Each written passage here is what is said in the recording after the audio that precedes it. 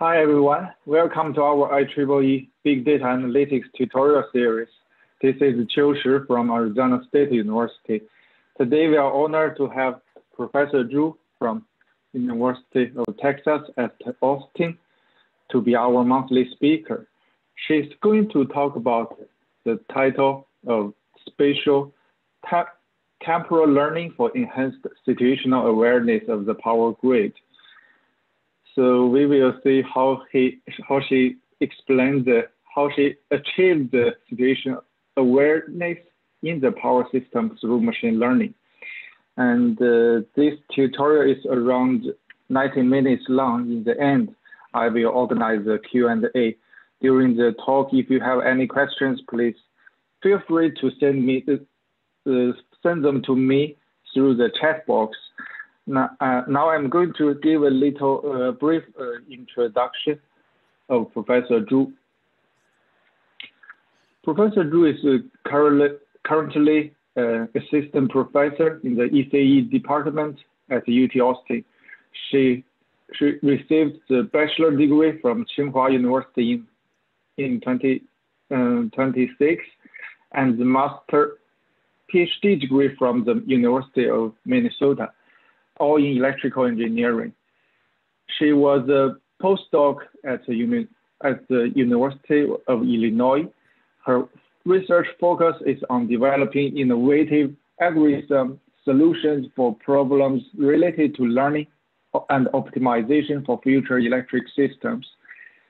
Her current interests include physics aware and risk aware machine learning for power systems and the the design of uh, energy management systems that account for cyber physical coupling.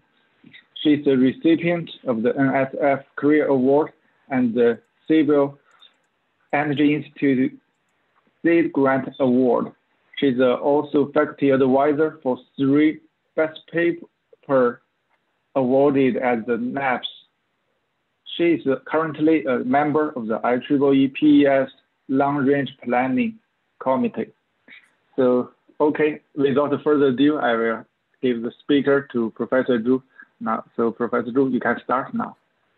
Great. Uh, thank you, Qiu Shi, for the nice introduction um, and also the invitation to speak here. Um, it's my great pleasure to speak at this uh, distinguished seminar series.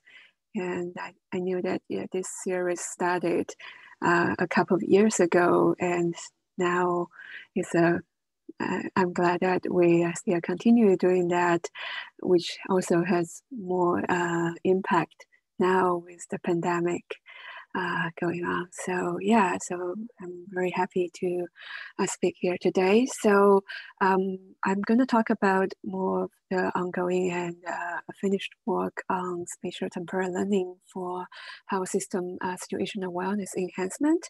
So I'd like to thank my uh, current and also former students and collaborators who contributed uh, to this work and also funding uh, support from National Science Foundation. So so the problem that we are looking at in Power Grid is that we have witnessed significant investment in infrastructure, especially with sensing infrastructure. So now we have more different type of data in both the uh, transmission grid and distribution grid. So on both sides, we have more of the synchronized phasor measurement units, and they can take on high resolution and high res data at different locations of the grid, um, which we are more familiar with in the transmission side. In the distribution side, in addition to like also the synchronized data, we also witness like smart meter data. They don't have the good uh, time resolution as we all know due to the standard setup. So, but then they are uh, installed everywhere, almost in every load buses or every uh, load uh, residential homes that in most of the utilities in North America at least. So the question that we would like to ask is that can we learn from this increasing volume of data under different spatial or temporal resolutions? And if so, what are the interesting problems that we can solve respectively for transmission grid and also for distribution grid? So in the transmission side, in the wide area grid, the problem that we are looking at is the grid dynamics, as we know that with the synchronized data and also high rates of uh, PMU data, we have the opportunity to look into the dynamic response of the system.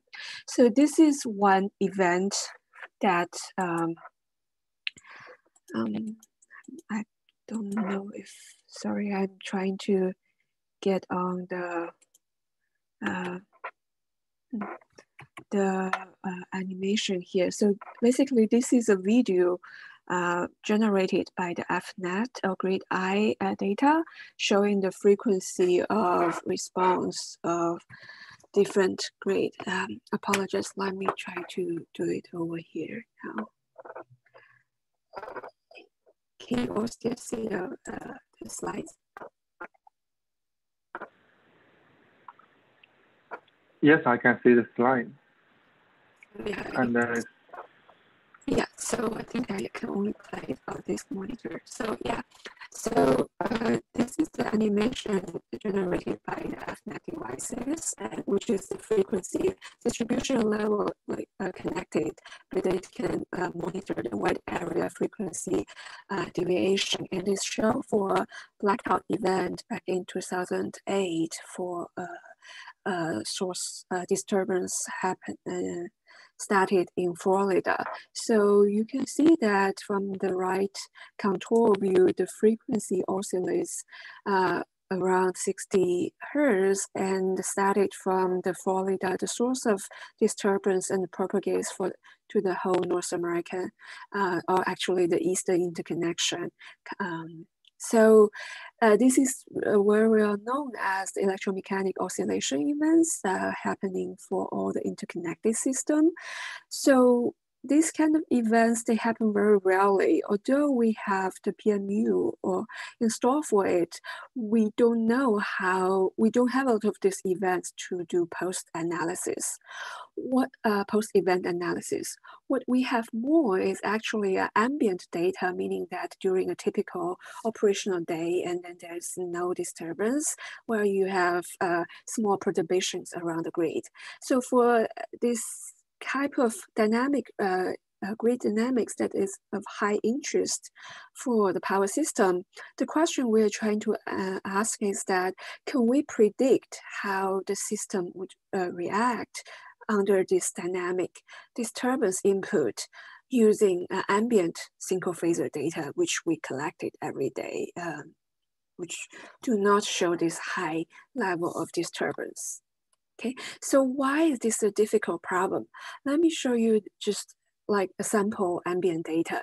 So this is a frequency data during a normal operation conditions. It has very small, slow, uh, slow variations, which is what we call the trend. So this is showing in um, in the uh, slow uh, variation trend here. So this is the quasi-static behavior of the grid, which does not capture the uh, grid dynamics.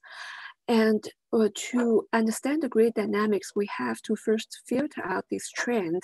And this is typically called the detrending process in the system. And you can see from here, this is after this detrending of this underlying quasi-static behavior, this uh, dynamic signature in the ambient data is mostly like white noise. So there's not much perturbation going on here. And that's why we uh, can only see this white noise behavior. So uh, it is very difficult to see how the system react in this uh, after this detrending process.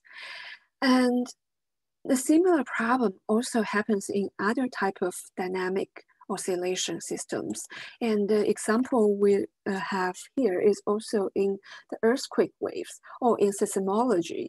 We know uh, one uh, interest question that seismologists facing is very similar to power system, where you have that in a normal a nominal day, the Earth uh, media has small perturbations, which looks like a noise waveforms, uh, which is similar to like the white noise uh, after the trending process of the, in the ambient uh, frequency data. And the problem faced by seismologists is that how can we know what, uh, what actual large disturbance happened, how will the uh, system reacts or how will this large disturbance propagate from one location to another location. So that's exactly the same problem faced in power system. And they identify approach uh, using cross-correlating this no noisy waveform to recover this disturbance response. So we will also explore this same idea for the power grid as well. So just a little bit uh, literature review on the power grid. Uh, in um, uh, there is a lot of work on trying to look at the correlation of ambient frequency or angle or voltage data. However, it is mainly used to do mode estimation, basically trying to understand what is the oscillation frequency or what's the damping ratio from uh, this cross correlation of ambient data, but not used for recovering the dynamic response behavior. Um, uh, recently, there is a lot of work trying to use that to estimate Jacobian, the state state space transition matrix, but then they require basically observability or uh, having uh, uh data uh, meter installed at every location. Um, in 2012, there was another work which explore this cross-correlation idea. However, they have very strong assumptions on the homogeneity of these waves, these oscillation propagation waves, say meaning that it has the wave has to propagate in the same speed to uh, every location uh, in a two-dimensional plane, which we all know based on that uh, earlier animation or the video, and usually this oscillation does not propagate in a uniform speed. So what we are trying to look at here is to explore the analytical guarantees that this cross-correlation approach would work for the actual power system uh, dynamic response, mm, basically the small signal inertial response. However, we want to understand whether it would work under a typical grid operating assumptions, not necessarily this uniform uh, homogeneous uh, propagation speed assumption. So this is what we are trying to do for this work. Okay, so I'm gonna start a little bit on the type of model that we're gonna consider, um, trying to introduce it at high level, and then uh, also showing the kind of conditions that why cross correlation will work. So the type of dynamic model that we're considering is the second order swing equations that is usually used for analyzing uh, small signal analysis uh, perturbations for power system dynamics. So it's based on the Newton's second law for uh, uh um, for the angular uh, osc uh, oscillation.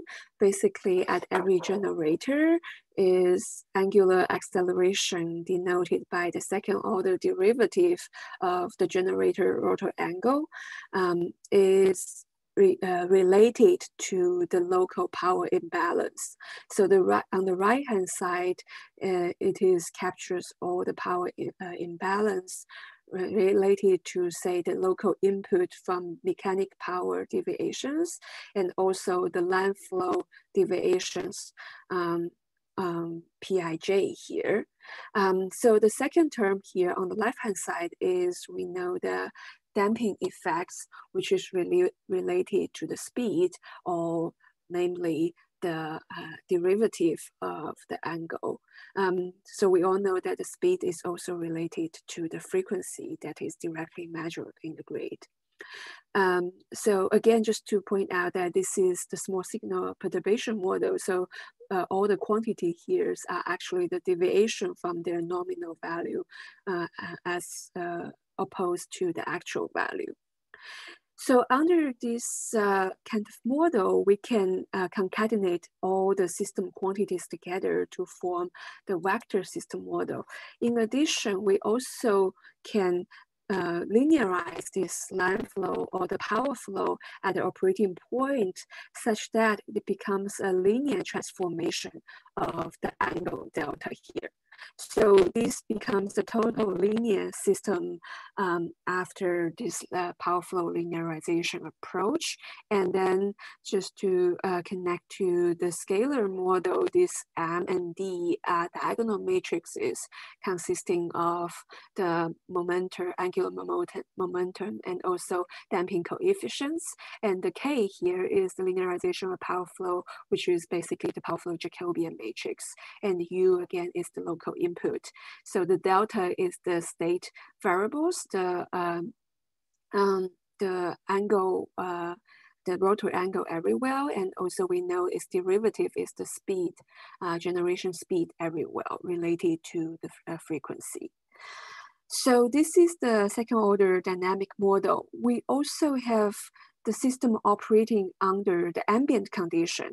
So what we meant by ambient condition, basically we assume that the input U here is a small perturbation coming from the load uh, variations or some small variations of renewable resources. So the input is a zero mean and also a white noise type of input. Um, so its expectation is zero and also is uncorrelated across some time. And it has this when um, the tau is equal to zero, it helps us to define the second order uh, uh, covariance of this noise, which is given by the sigma here. So under this kind of input, we know the system is driven by stationary noise. Therefore, our system states, which is basically the frequency or the speed or angle are also stationary and also they're zero mean as well. So this is basically why we are observing that the actual frequency after detrending is like a white noise as well. Okay, so this is our ambient data model. So again, what we are trying to do here. Um, so we are trying to uh, come up with this dynamic response, assuming there is an impulse uh, input disturbance at the source location, any location K, we want to know how the system would respond in terms of frequency or angle in any other location L. So we want to know this propagation model from location K to location L. So what we can we will prove analytically is that this response, uh, this disturbance response T from location K to location L can be uh, recovered using the actual data, ambient data collected at these two locations, K and L, through the cross-correlation operation. So cross-correlation is similar to um, coloration or autocorrelation that uh, we defined for a single data stream. It is trying to understand the similarity of two different data streams under different time lag uh, given by this tau here. So because of the uh, ambient condition, the data, uh, the input, and also the system stays uh, stationary, we know that this cross correlation can be given by the expectation of this imp, uh, this uh, average quantity omega kt and omega uh, k, uh, lt minus tau here. So uh, it suffices for us to show it for this expectation of this um, difference of these two states under uh, a fixed uh, time uh, interval tau. So this is uh, what we're gonna show later on.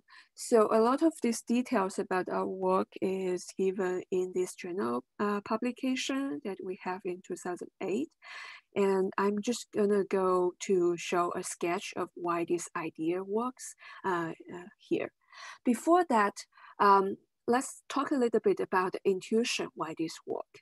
So the intuition here is that the cross correlation as I just mentioned, is defined for any two uh, input data streams. So for example, here you see that these two input are some uh, sinusoidal waveforms and they look like that they have some kind of constant time uh, difference between this blue and uh, the red uh, waveforms here. So what cross correlation does is that I fix one waveform and I move, say I fix the blue waveform here, the blue sinusoidal here, and I move the red sinusoidal for different time lag.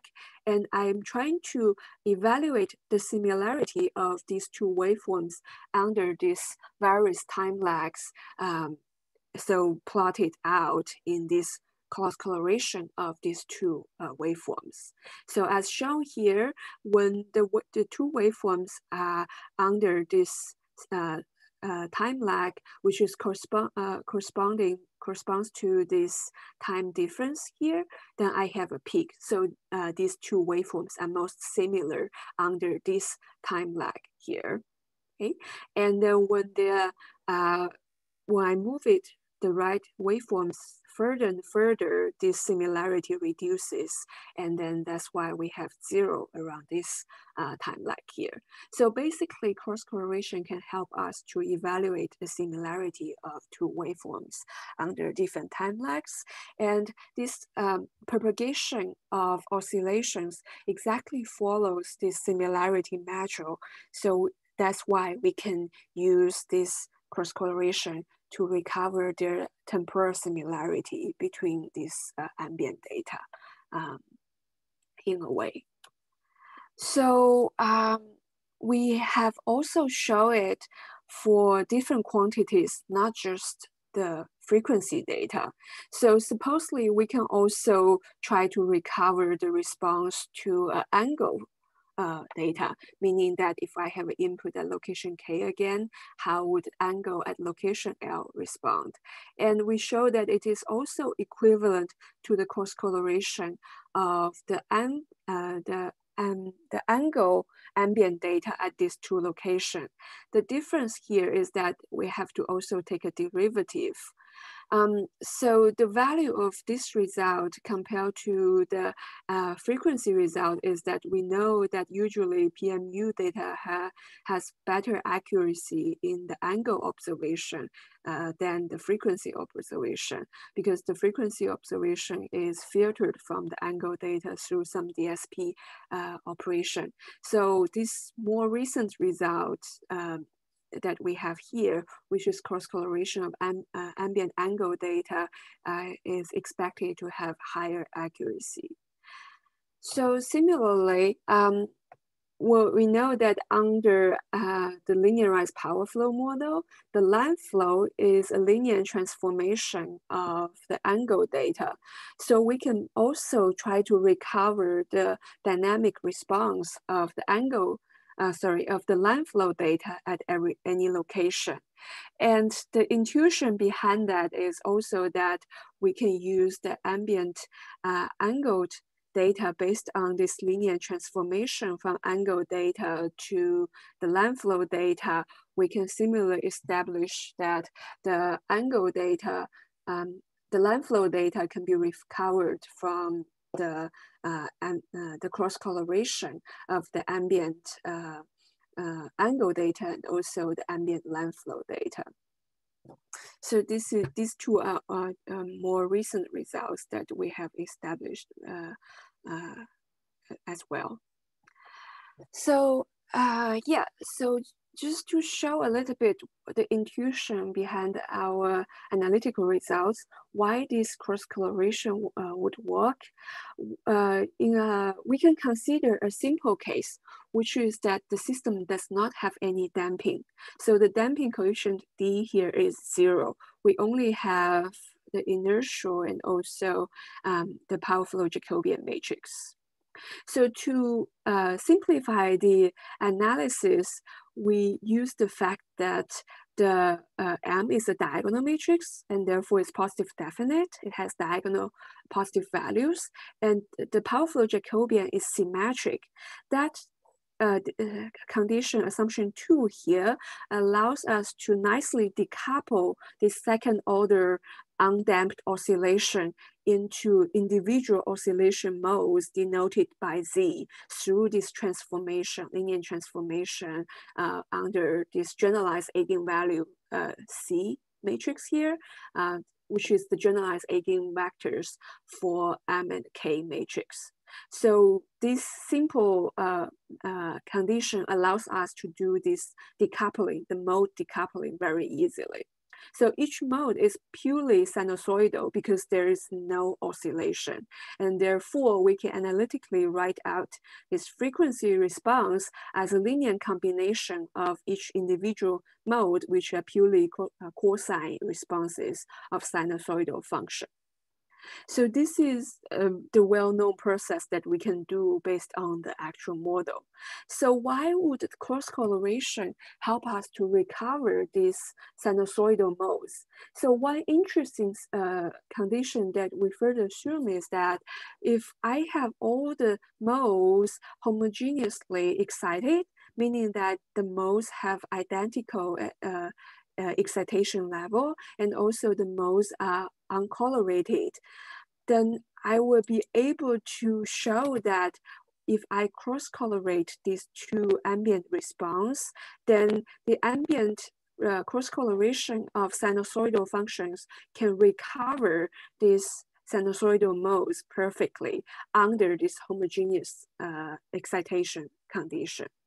So this is uh, one this is basically the idea why I'm able to recover these uh, uh, unknown um, combi linear combinations of cosine uh, modes everywhere in the system using cross correlation.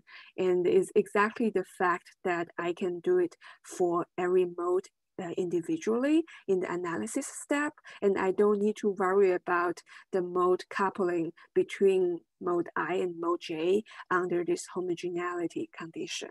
So this is very nice. I'm able um, using to use this undamped uh, analysis condition to show it very easily. Of course, uh, we know that all the system has the damping.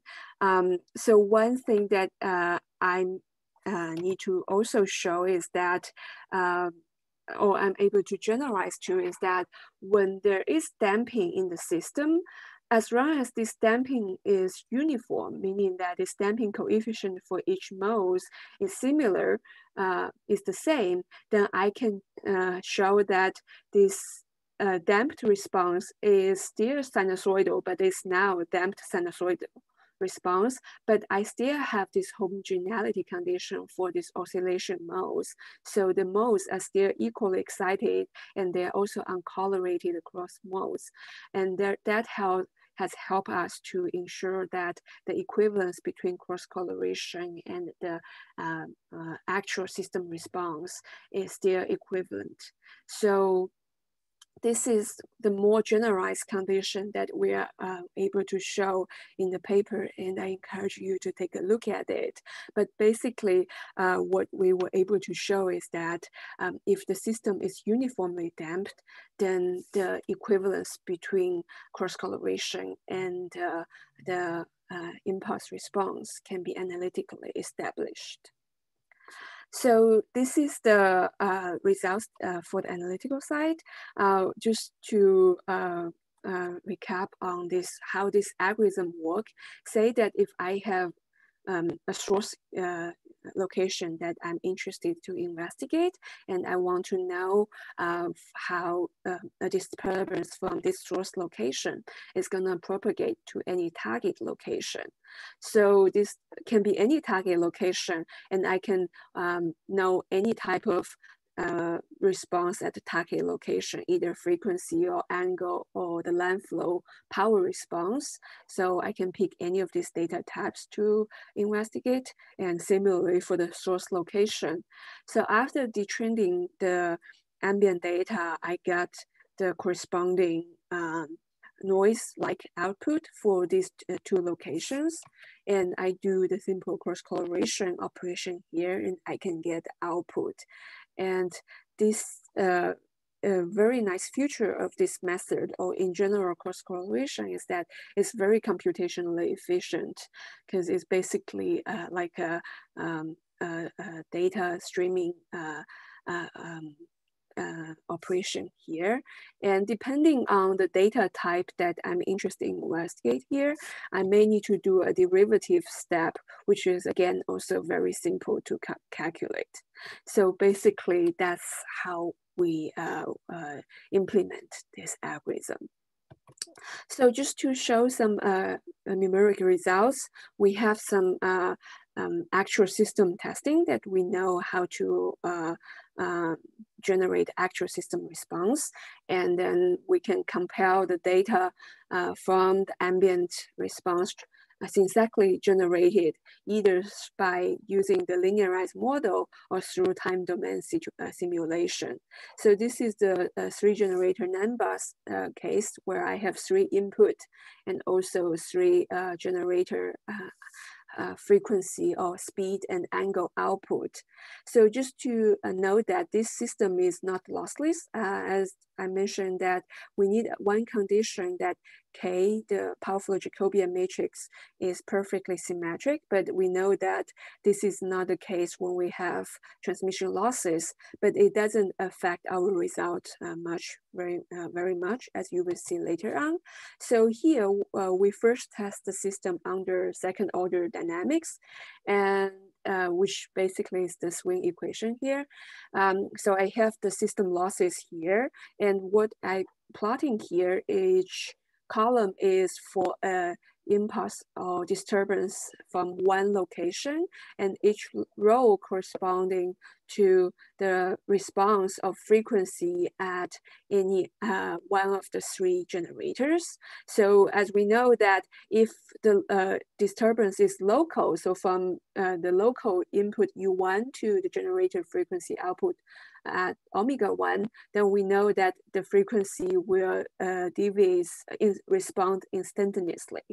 However, if you go to another um, generator two or three, it will take some time for this to respond, for the uh, disturbance to react. So uh, either way, we uh, have seen that this is perfect match between the uh, data-driven uh, approach, the cross-correlation approach using either synthetic data generated from the linearized model or time domain simulation. Um, so we, uh, because the linearized model is faster to compute, uh, we're not gonna have time domain simulation for the rest of the validation later on. So uh, this is the frequency response. Uh, we also uh, show that uh, in terms of the angle response at every generator rotor angle, it also has very nice response here. Um, um, it is, has the perfect recovery response at uh, any generator rotor angle response. And similarly, the line flow response is very accurate as well. Uh, we can see that uh, the line flow, the line power flow, when there is a disturbance, would uh, uh oscillate around its nominal value uh, in, a, in this fixed pattern. And we're able to recover that using the cross correlation approach as well. So um, the second gener uh, the second order model um, is very uh, useful for an analysis, but we know that it is not uh, the case uh, in general. Uh, there are also some control actions in the generator which results in higher order dynamics. So we also test uh, this method under this high order dynamics. So what we notice is that, yes, usually under high order dynamics, you see more of the damping uh, effects of this uh, uh, frequency response. Um, as However, the difficulty for our method here is that we, uh, under the high order dynamics, there will be some coloration of the modes. As a result, there is some mismatch in say that the oscillation amplitude here.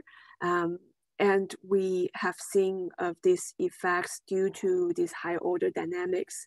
But uh, still, the recovered uh, response, the estimated from uh, cross correlation, the blue curve here can capture the peak location very well, which suggests that it's able to um, identify the propagation time very well. So similar uh, observation for the angle response as well. Um, so there is some mismatch error in the amplitude, uh, but then the general shape of the oscillation is still captured very well. Um, uh, so in terms of uh, the line flow, we realize that because line flow is related to angle difference, actually it seems to be more accurate than the recovery of angle. And this is because that the uh, resulted from the angle uh, can be canceled out when we calculate uh, the line flow response. And this is the nice part of uh, try to recover the angle response uh, as a result. So we have also tested on the actual system. We were fortunate to uh, obtain like 15 minutes of FNet device data.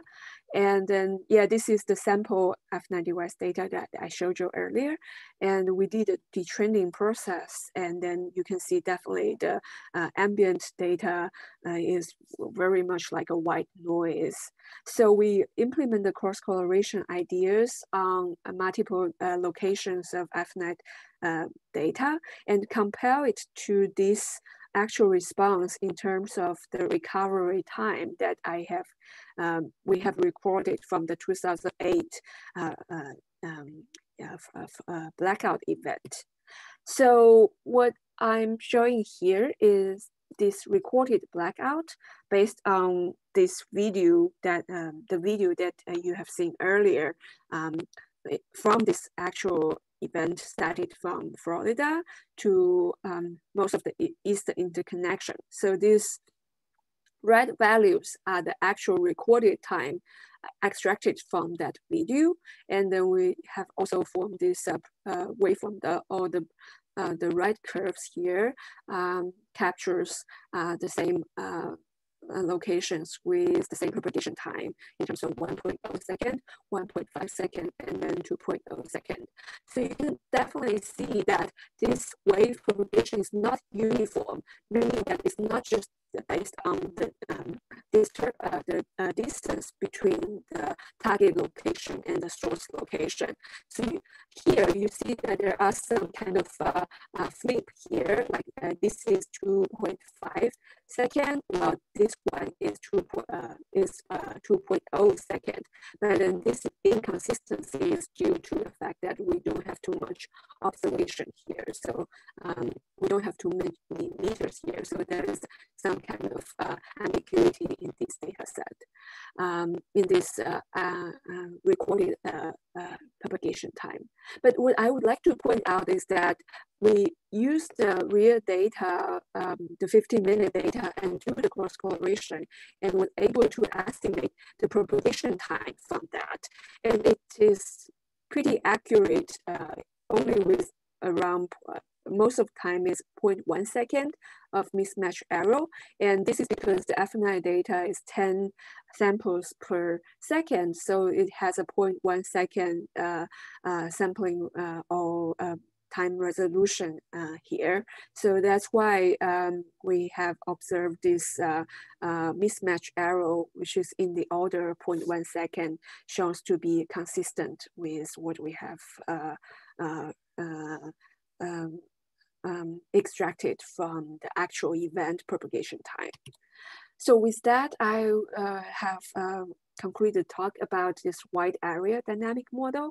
So we would um, really, uh, we are really excited about this cross correlation idea, which is a totally model-free approach that enables us to recover the dynamic response from any disturbance input to uh, any um, system output uh, at any location in uh, interconnected system. And uh, we particularly like it because although it's model free, it's also it's built upon it's built upon this second order dynamic model, and we understand why it would work for a real system. And we know that when it has some little bit issue and what why it is not working that well. So it has interesting applications. Uh, we can use it to recover missing data points because we know how the system would actually respond. So that allows us to recover missing data streams. And it is very computationally efficient compared to numeric uh, solution to trying to understand the system dynamic behavior. And also we, uh, we can evaluate uh, how say that if I implement a control action and I can immediately uh, evaluate the effectiveness of this control action by looking at how the system would respond uh, uh, under this cross correlation technique. So these are the um, uh, applications that we envision for um, this proposed uh, cross correlation idea. So this is uh, actually a good uh, stopping time for the first part. Um, I can take some questions uh, if uh, um, um you think is a, um, a good time. Yes, and so far, yeah, I have one, uh, yeah, one audience is going to ask, I, I, I will unmute him, and there is a one question. Hi, Raj, you can ask. Hey, thank you. Uh, thanks for the interesting talk. Uh, so I have a question with regards to the setup. So why can't we just uh, use mode estimation algorithms, which includes the subspace estimation technique, and then first obtain the system dynamics, and then use those dynamics to understand the impact of the inputs, right? right. that's I, I can do that one as well. Uh, so why to use the you know cross correlation technique? Yes, very great question. Um, so uh, uh, this uh, estimation approach that you mentioned um, definitely will work if we have very good um, meter coverage. Basically, if I have the meter, so this is one of the early work that I mentioned uh, that you can uh, put it into this ambient data and then try to establish or do system identification for it. Um, and then use this identified system model to uh, uh, to analyze the system response. So this two-step approach would work, as I mentioned, if I have very good uh, meter coverage. If not, it may suffer from like a lack of observability issue. So what we are showing here is that regardless of how many meters I have, as long as I have these two location data that I want to investigate, I will be able to recover that. So it doesn't require the number of meters that I have for the system. Uh, okay, okay. Yeah. Correct me if I'm wrong, but I got I got your point. But so in your setup also where you considered the uh, state space model, that also requires an observability to you know capture the dynamics, right? Without the observability, your um, correlation metric, um, right? it also drops some information, correct? Right. So the analysis would require that I have this model, but then after, so I only use this analysis to show the equivalence, but it, to implement this method, uh, like showing in this plot, I don't require any of that model information or metering coverage information. Yes. Maybe I'll follow up this question. I mean, I, I okay. Uh, I just do not want to waste time. Okay, thank you for your answer. Oh, okay. Thank you yeah. for the question. Yeah, yeah, yeah, definitely. We can, uh, yeah, come back to that later. Right. Yeah. Cool. Um, so uh, if there's no further questions, so I will uh, go to the second part. Um, so on second part, is on the local area or distribution grids, where we see there's more and more like distributed energy resources. How so they are not directly observed by uh, observed by uh, grid operators. So one example, if we can think of is like say um, uh, individual customers uh, like charge their own EVs. All these EVs are managed by aggregators. So um, from the grid operators, it only has, say, the very low resolution smart meter data every 15 minutes. And it may not be able to know that where exactly, say, this EV event happens. And, uh, or even if it happens because of this average, it loses, like, say, the kind of power uh, uh, demand change uh, due to this 15 minute average. So the other example is the behind meter solar uh, generation issue, which we know that there are a lot of uh, solars uh, underneath like a distribution feeder. However, it is uh, unclear how can we separate uh, the solar from the demand or the low demand in the distribution uh, uh, data. So, so the second part of this talk is about how we can increase its visibility at grid edge, um, specifically for these distributed energy resources, uh, EV, uh, EVs or PVs. So, uh, so this is the overview of the system setup. As I mentioned, like um, the in distribution side, almost every load node has their individual measurements like smart meter. However, these meters um, low has low time resolution.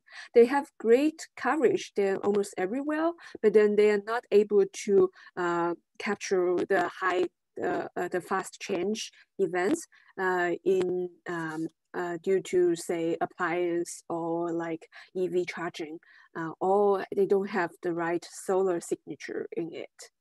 Um, so the idea is that if say that we also have the grid level measurements that could be from distribution PMUs, uh, which you have like say aggregated power demand in selected location. So these PMUs, we all know they have high temporal resolution, but they don't have the spatial uh, diversity. So they only have for like one location or a couple of locations.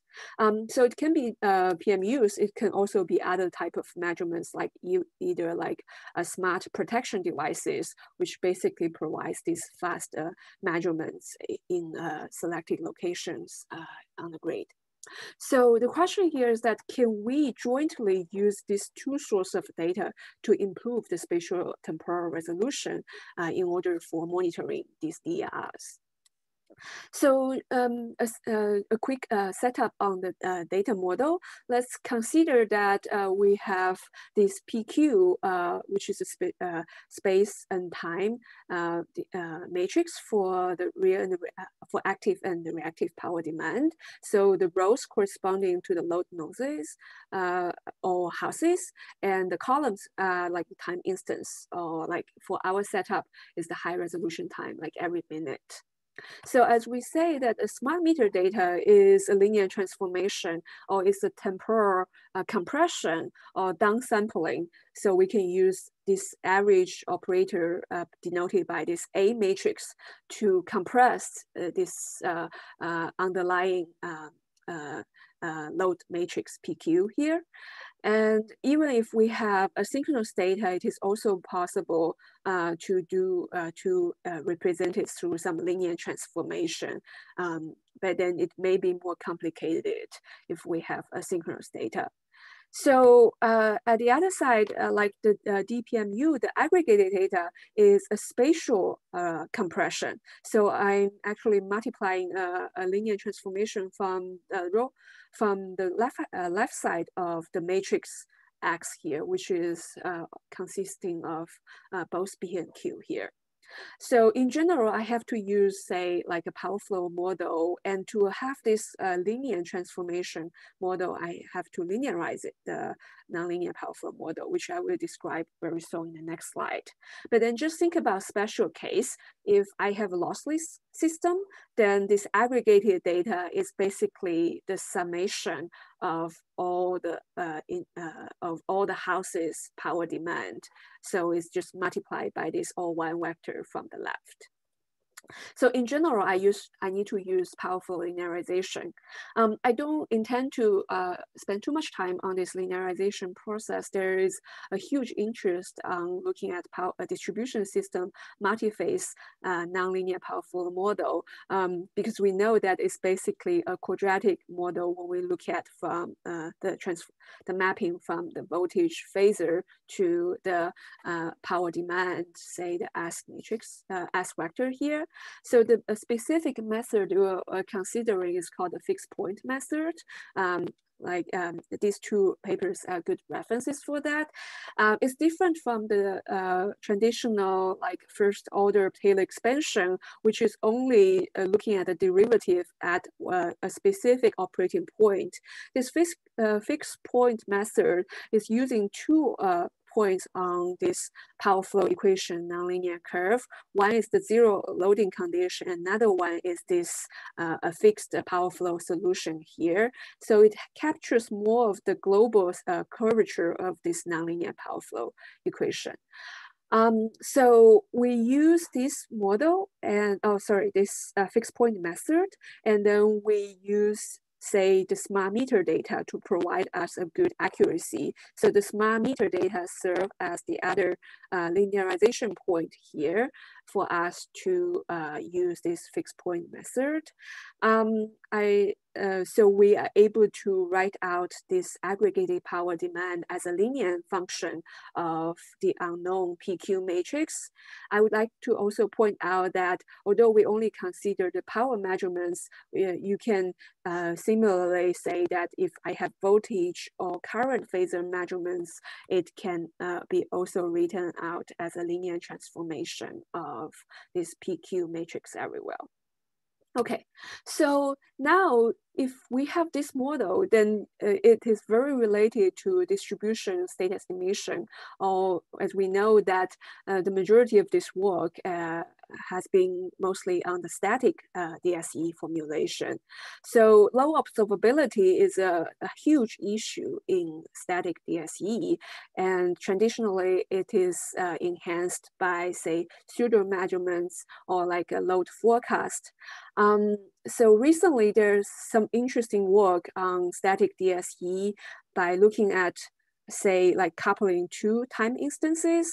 Um, um, so um, they're using some kind of assumptions like this, this work here, saying that the loads don't change very frequently, which is indeed the case. Uh, and I'm going to talk about that uh, very soon. And uh, there's, there's an, also another work which is related on static DSE using matrix completion. And it is trying to uh, uh, have um, solve also the low observability issue where you don't have many measurement locations and trying uh, to use the matrix completion to recover the data at every well in the distribution feeder. So these are all static approaches. Um, recently, uh, because of uh, uh, the introduction of PMU data, we can also do distributed uh, state estimation as we know, and there are some more recent work on that. Uh, however, we know in like uh, traditional Kalman filter type of the dynamic estimation approach, it needs to compute the inverse of Hessian matrix. So we have a recent work in this paper here looking into efficient called prediction correction PC method here, which instead of using an inverse of Hessian, we do a gradient descent, which is a linear transform, very much more efficient compared to the Kalman filter. So one observation, um, there are actually two observations that we have. So uh, for, uh, first of all, um, in distribution system, we observe that uh, the voltage uh, estimation is in general much more accurate than power um, estimation. So this is because that uh, the voltage sensitivity to power demand is relatively low. Um, so because um, of good control schemes, the voltage is usually close to one. So the voltage estimation error, as you see, the level is around 10 to the minus three, is very uh, accurate. While it is much harder to estimate the power demand every well in the feeder. So uh, that uh, point out that the need that we actually need to cast the power demand as a state as what we were doing now. Secondly, uh, the observation is that, um, so this recursive or dynamic estimation approach works well if we have slow variation of the loads, but this is not the case in the actual distribution system. Um, so the load, uh, we uh, took a closer look at the distribution loads. It actually has much, uh, uh, uh it has different characteristics compared uh, to like typical what we assume to a load that is slow varying as in transmission system.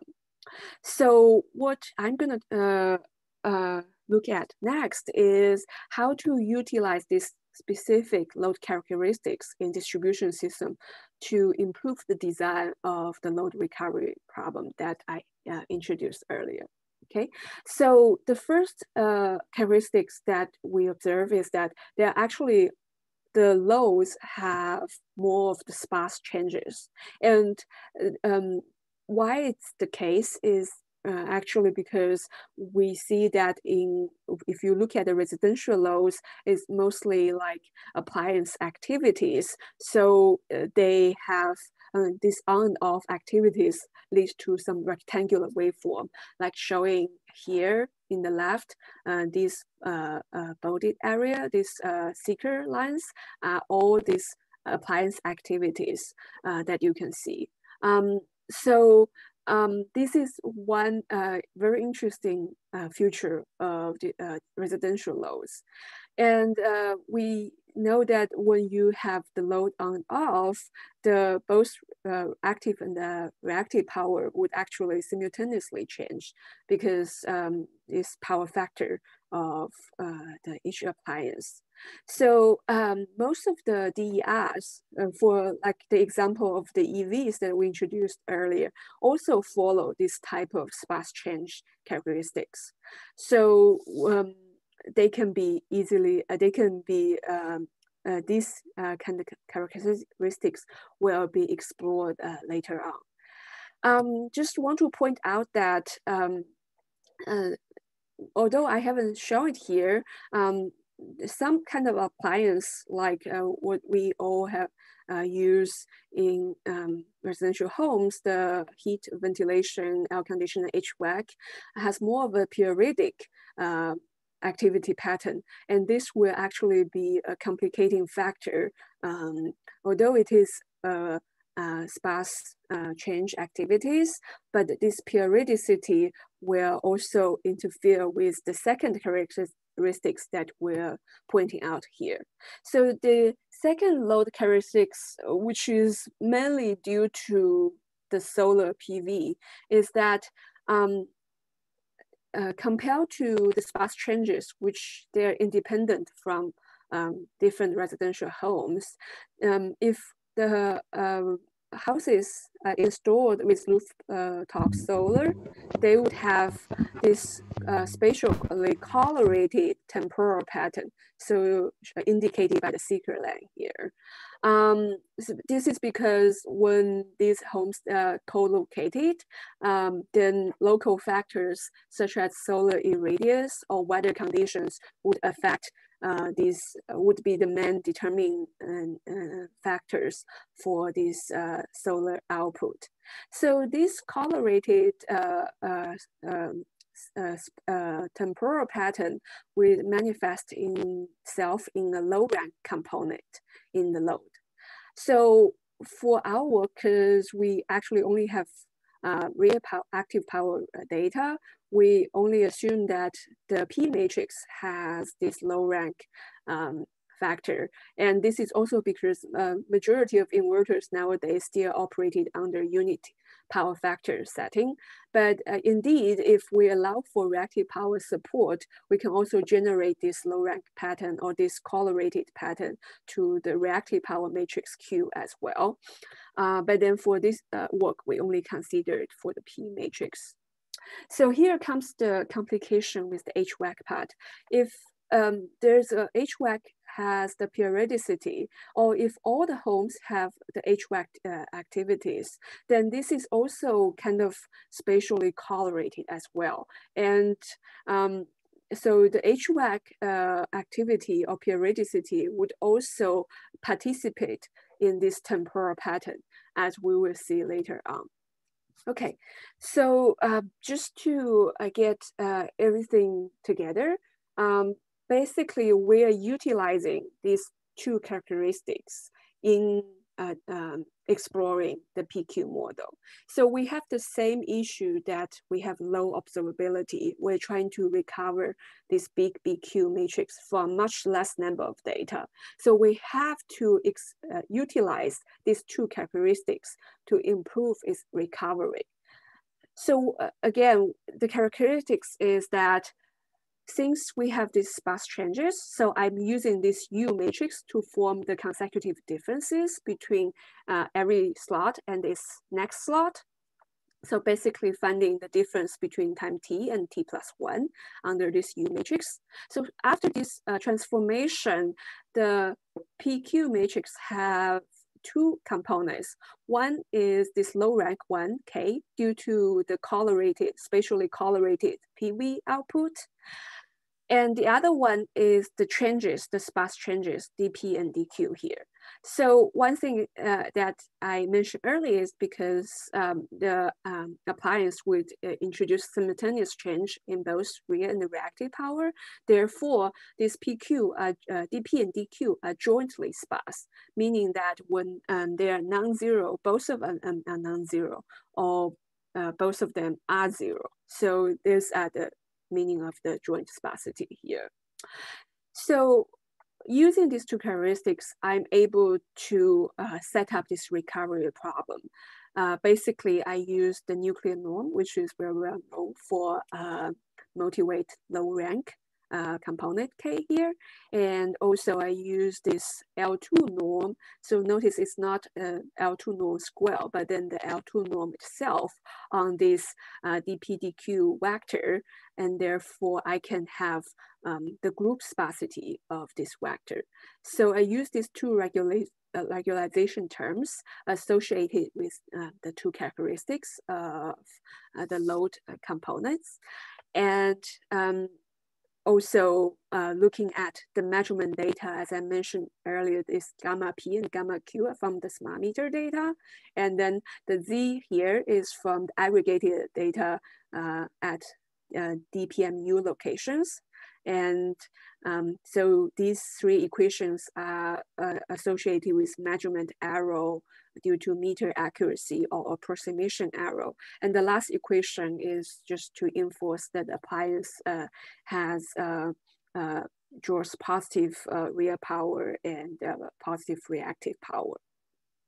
So this is the setup of uh, the load recovery. So after solving this problem, um, I'm able to first from the recovered profile P to locate the change events. And this can allow me to identify a PV charging events very uh, uh, easily. Uh, let's, uh, for example, in this uh, uh, plot here, um, well, I mentioned that the smart meter data may miss this PV jump uh, from the charging. But then after recovery, um, the recovery profile can very well capture this single change of the PV power increase. And therefore uh, I can um, identify the PV uh, charging activity from this uh, jump event here. So um, to do this identification, I can vary this threshold based on a certain percentage of EV power rating. So this is for monitor the PV, uh, sorry, the EV event. And uh, we can also uh, use the low rank component, which I mentioned earlier, uh, which has the temporal pattern to recover the behind meter solar PV output. So how do we do that? We can first extract the temporal pattern from the right singular vector from this low rank compo recovered component L here.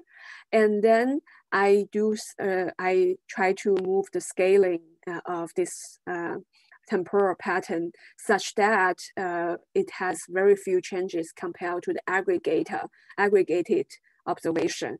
And that allows me to recover um, the uh, actual uh, solar PV component from uh, the aggregated data.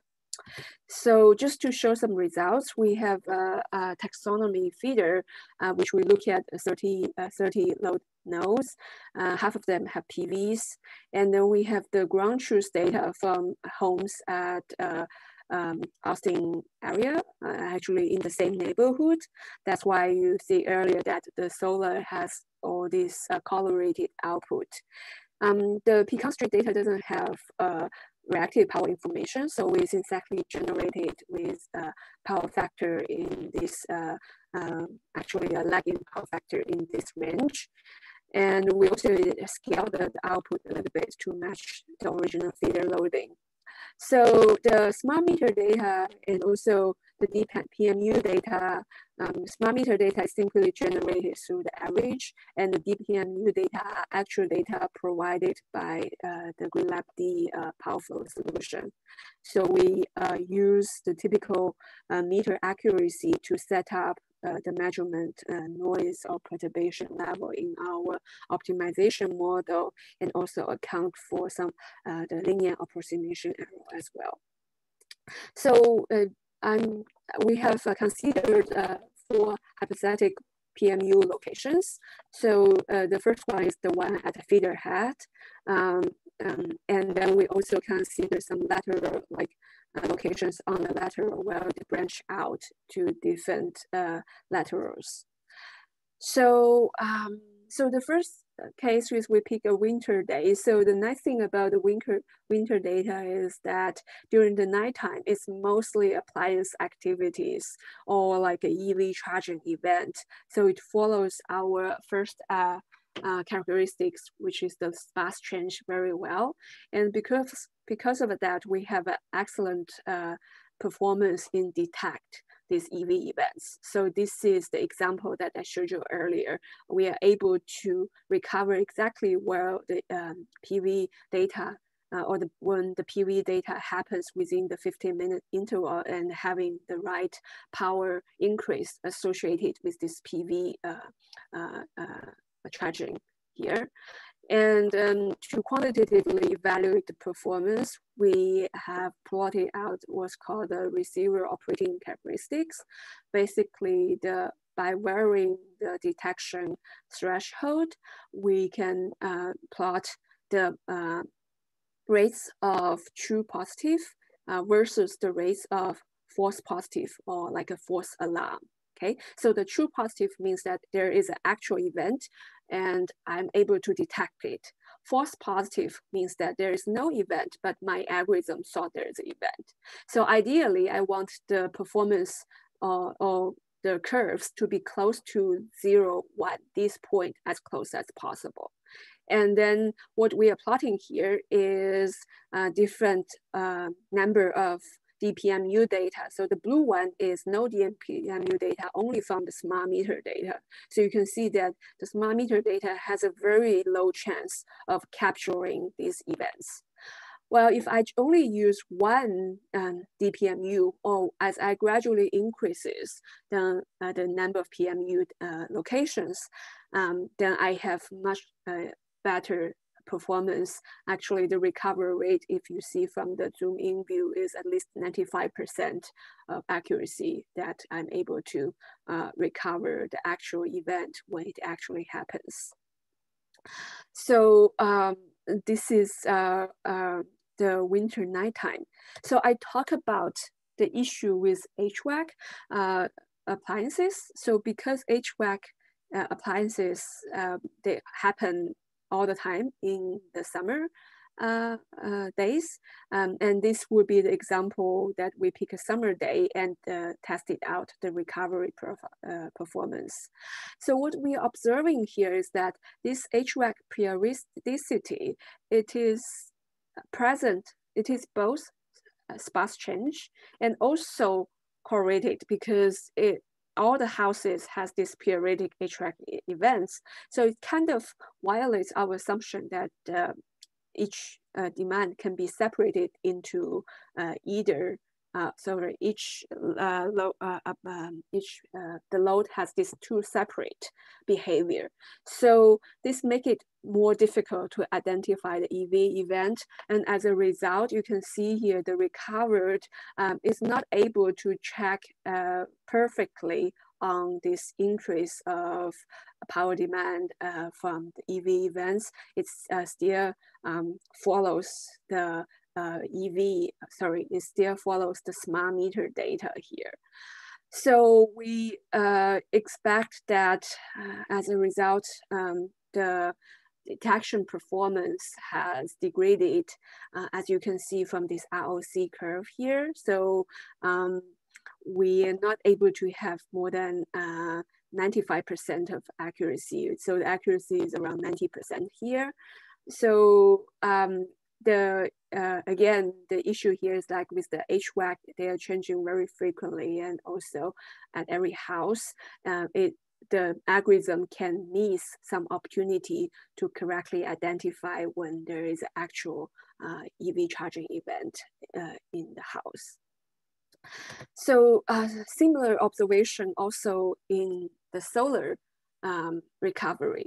So uh, we use like a winter daytime data and then um, using the solar recovery scheme that I mentioned earlier, basically uh, recover or extract this temporal pattern from the recovered low rank component. And this is from the right singular vector of this uh, uh, low rank uh, uh, component. And it matches very well the fast transient in this ground truth uh, solar output showing on the left. And um, we use this recovered or extracted temporal pattern to try to disaggregate the DPMU data. So for example, the, from the DPMU data, you can tell a little bit about there is some uh, solar going on here, but then we're not able to know what exactly is the solar uh, uh, level, uh, the output of the solar. But then from this temporal pattern information, we run the algorithm to disaggregate it. Then we are able to match very well with the actual PV output, uh, even capturing this uh, fast transient um, in this underlying uh, solar uh, output profile due to um, uh, the irradiance pattern of the solar output. So the same issue comes up in for the summer daytime recovery. So and then that's uh, when we use the algorithm for recovering the summer daytime. This is again the temporal pattern. So it by and large follows this parabola shape of the actual PV output. However, you see there's some kind of small perturbation. And as I mentioned earlier, because of the HVAC periodicity, and then it will it is also correlated across different houses, and therefore it will show up in this uh, low rank uh, component as well. So this perturbation like kind of actually follows uh, HVAC periodicity um, uh, based on our observation of the real data is around like 10 minutes. So we can potentially filter out this um, perturbation that we don't want from this recovered temporal uh, pattern. Um, so we didn't do that yet, but then we just use this uh, recovered temporal pattern to disaggregate um, um, uh, the DPMU power measurements. And you can see that yeah, uh, we, we are able to uh, still uh, match the solar output, the total solar output from this aggregated data um, follow the trend here. But then again, um, this uh, um, uh, perturbation um, is due to um, the fact that um, in the low rank component, it also contains the HVAC uh, periodicity uh, or the periodic effects of HVAC. Okay, so uh, to sum up, uh, so we have introduced uh, um, a method to use jointly spatial, uh, spatial temporal measurements of different resolutions uh, to monitor discrete edge uh, um, DER resources. So um, one um, side using the sparse change events of the load profile, we can um, detect, say, large appliance or, uh, or these associated with electric vehicle chargings. Um, uh, using this uh, low rank temporal pattern, we are able to uh, recover the co-located energy sources such as uh, the PV output. So um, the applications or the extensions that we're considering now, um, it, definitely as I show that if once we have this information that we can use that to verify the DER status or any control commands, say charging, discharging command uh, from the aggregator to a EV. Um, we also considering uh, an online implementation of making the algorithm efficient. It is pretty fast now, but then there are some uh, uh, directions to make it more uh, efficient. And then um, as you've seen that um, the HVAC periodicity has posed as some challenge to this recovered uh, temporal profile, profile, so uh, solar profile. So we, we are thinking of doing some filtering on that. Um, the other thing is that uh, uh, using these load characteristics, it can uh, it is um, can potentially help us to design some control strategies for DER as well. Um, basically, we have to consider that the distribution system is operated with all these uh, real events, uh, but then large changes uh, in whenever there is appliance activity, there are probably uh, large change of loading conditions in some locations uh, within the system. So with that, uh, I have uh, concluded the talk. And so I have shown uh, two examples that we use learning uh, optimization methods. One is on the wide area monitoring and one is on the grid edge monitoring. Um, so we also have some work that I'm not able to uh, introduce today, which is around uh, integrated infrastructure, how to um, design electrified transportation um, at aggregated location um, uh, in an aggregated manner. So uh, here are some um, uh, application, sorry, publications related to this work, and um, I can take more questions if there are uh, more. Okay, great. Thank you, Professor Zhu, for your excellent talk.